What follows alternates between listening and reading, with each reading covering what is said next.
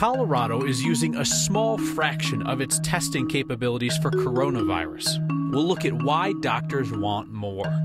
And we still can't get a clear answer about the costs to Coloradans who will go in to be tested.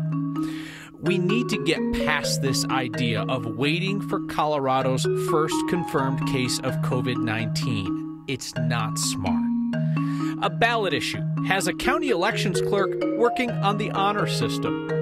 Joe Biden did not campaign in Colorado, but two pieces of paperwork give him an edge on Super Tuesday tonight.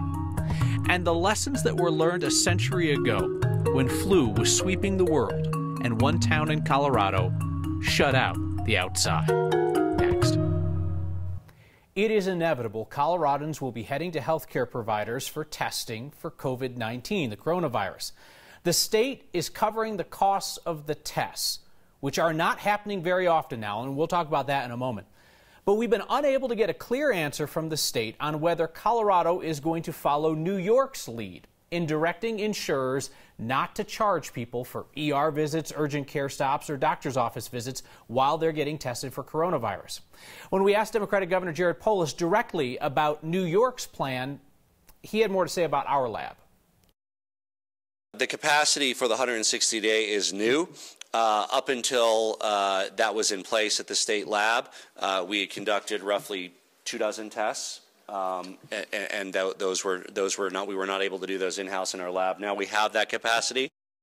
We will continue to ask the Polis administration about an answer to the issue of costs when you go in to get tested. We know that folks are concerned about that. So our state does not have a confirmed case of COVID-19 right now. But the fact is we've not been testing for it widely. Colorado is using just a fraction of our testing capability. The state says its lab in Denver's Lowry neighborhood can handle 160 tests a day. As of this afternoon, it had done 23 tests since Friday. That's less than 5% of what the state's capable of doing right now. And this has been a nationwide issue. Doctors across America have been clamoring for more testing. That would allow them to detect cases earlier to flag some of the majority of coronavirus cases that are going to be mild, not just the emergency cases. Then that way, they can trace contacts and they can alert vulnerable people who may have been exposed. State health leaders tell our 9 Wants to Know team that they're hoping to be near testing capacity by the end of the week. Let's plan to meet here each night for some straight talk about the coronavirus situation. I got to admit, I'm worried when I hear people talk about changing their behavior once we have a confirmed case in Colorado. Our medical expert, Dr. Payal Kohli, has said we have to assume that the virus is here now. Whatever protective measures you plan to take once there is a confirmed case in Colorado, take them now. If you plan to replace handshakes with head nods or elbow bumps, do it now. Extra hand washing, now. Avoiding people who are sick, now. If you plan to cut down on unnecessary visits to crowded places to practice what they call social distancing, do it now. Don't wait for that first confirmed case in Colorado. Scientists say that acting early can help us flatten the curve to reduce the spread of the virus or at least delay its transmission so that the healthcare system can cope.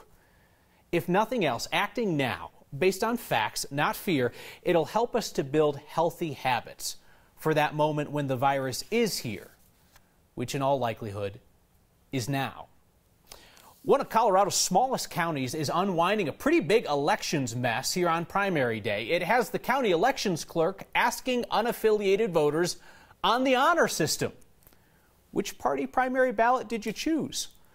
A next viewer in Leadville tipped us off to the letters that went out from the Lake County clerk asking whether he had returned the Democratic or the Republican ballot. This is something that elections workers should know. Your ballot envelope tells them who is returning that ballot.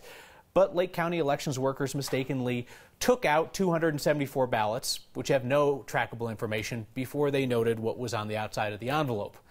Clerk and recorder Patty Berger, who was herself unaffiliated, said that they were told by Democratic Secretary of State Jena Griswold's office to basically contact each voter and ask them on the honor system which party primary they picked. Secretary of State's office acknowledged to us that that's less accurate.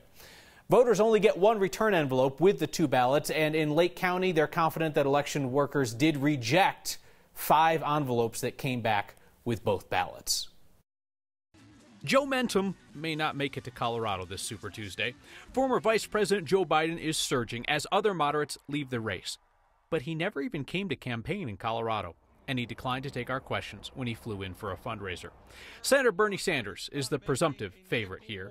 Though Biden is getting a boost in his goal of hitting 15% in Colorado to qualify for delegates, and that's because two of his last minute endorsers, former rivals Pete Buttigieg and Amy Klobuchar, they raced in letters to elections officials in Colorado asking that the votes for them not be counted.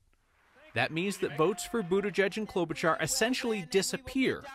It will reduce the total number of votes counted, making it easier for Biden to reach 15 percent.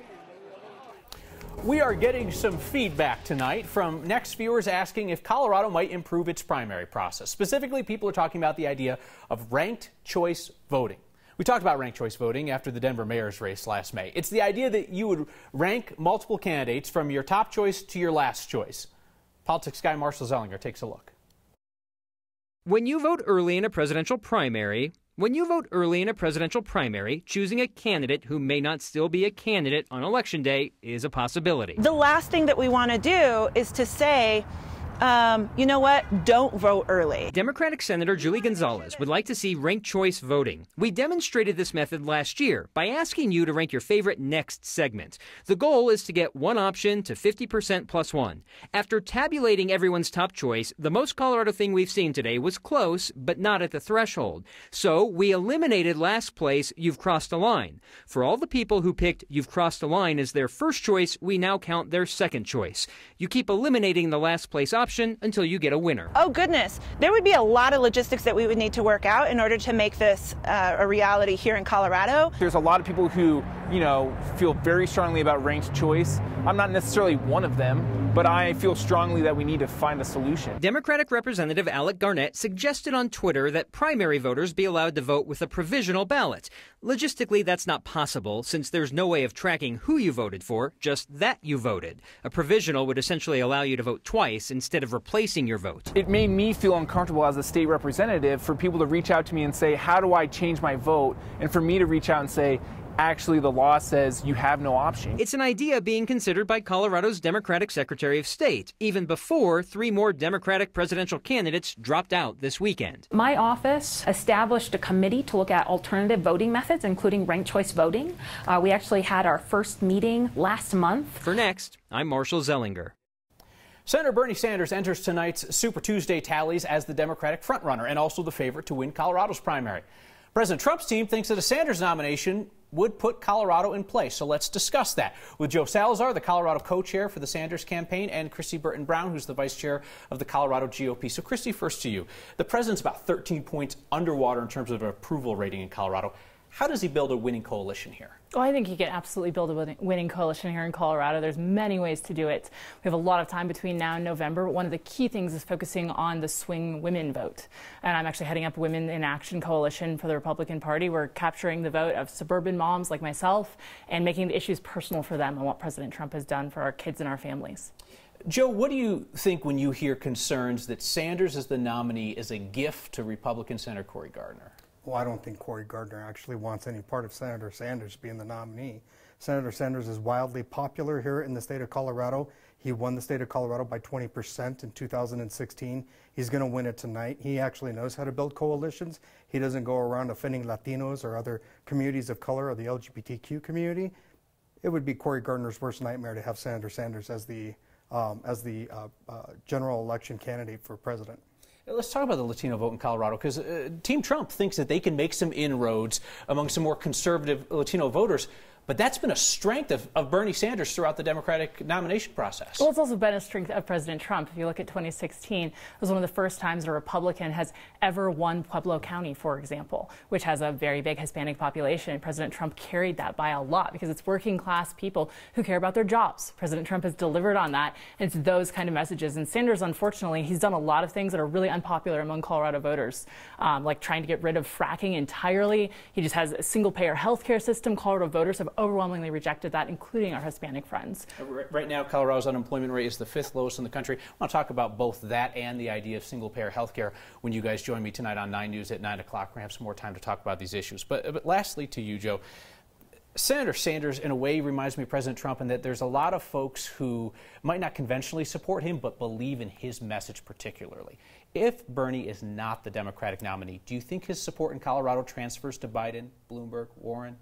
Absolutely. I think that the uh, individuals will go over to uh, to whoever the nominee would be, uh, just like we did in 2016. We made sure that Hillary Clinton won the state of Colorado, and it was a lot of senator supporters who came over uh, to ensure that that happened. Joe Salazar, Kristi Burton Brown, thank you both for your time. Look forward to having you with us on 9 News at 9:10 tonight. Thank you. As the Spanish flu ravaged the world in 1918, Gunnison shut out the outside. Are there lessons to be learned today? And an elected official in Colorado jokes about her political opponents getting coronavirus, then learns why you don't do that. Next.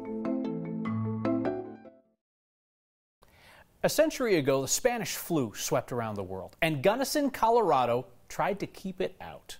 Researchers and our Steve Staeger are looking closely at whether it worked. History certainly comes in handy in times like this. It was uh, a major, uh, major disaster. MSU Denver history professor Dr. Stephen Leonard learned something fascinating through his research of the 1918 Spanish flu in Colorado. It was a worldwide pandemic that uh, some people estimate killed up to as many as 50 or maybe even more million people worldwide. Well, that flu killed nearly 8,000 people in the state of Colorado back then. Told people that they couldn't enter, they advertised it widely. The town of Gunnison had next to no flu cases. It was well known that they didn't want people there. So sequestered, Gunnison has become a case study on preventing outbreaks. There were barricades and signs at the entry roads into the county saying basically drive through, do not stop, or you'll get arrested. Dr. Alex Navarro did the case study for the University of Michigan. He found the cancellation of public events, the mandated quarantines, and the literal barricades, they really did work. They basically closed the county uh, insofar as they could. And they more or less, it, it, it worked. During the first two waves of the flu, Gunnison saw only two cases a woman who traveled to Chicago and her sister, who picked her up at the train station. The helpful sister died. I think the lesson is that. Um, you know, Gunnison kind of got lucky. Both Navarro and Leonard say in today's world, that level of isolation may not be possible. But perhaps there is something we can take away. You're very wise to be prepared. For next, I'm Steve Staeger. Denver City Councilwoman Candi CdeBaca is not backing down for cheering on a tweet that talked about spreading coronavirus at President Trump's rallies. Conservative media just came across CdeBaca's tweet from last Friday overnight. It pledges solidarity and laughs about a woman's suggestion that she would go to Trump rallies if she was diagnosed with COVID 19. The Colorado Republican Party is now calling on CdeBaca to resign. CdeBaca, who is a self described Democratic socialist, is not resigning and is not apologizing. Her team said the tweet was sarcastic and suggested that Republicans' energy would be better spent on improving the Trump administration's response to the coronavirus.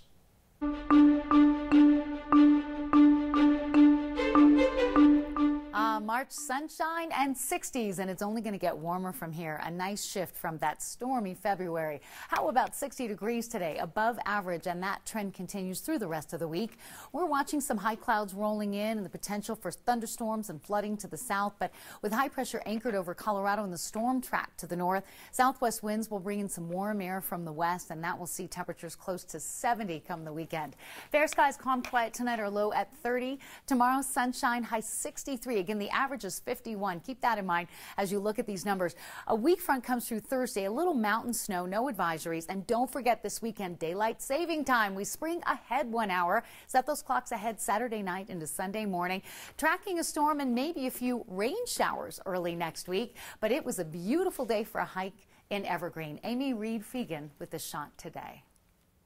Next, we'll sit down for a Super Tuesday conversation with two of my favorite political minds who know you can disagree without disliking. And if there's a sign that says no breakdancing in the elevator, there's probably a story behind it. And there is. Next. Let's bring in the Nine News political experts, Democrat James Mejia and Republican Kelly Maher, now to talk about Super Tuesday in Colorado. Joe Biden did not campaign here, didn't spend a lot of money here, but still might walk out of Colorado with a semi successful result. What would success look like for the former vice president tonight in Colorado? He's not going to win the state. He just has to stay close. He has to stay relevant, stay in the conversation, make sure that he gets earned media, and people are still talking about his candidacy in other parts of the country.